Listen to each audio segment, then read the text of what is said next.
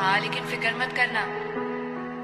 मेरे जाने के बाद भी ना, ये मत सोचना कि मुझसे पीछा छूट जाएगा। मैं हमेशा तुम्हारे साथ रहूँगी।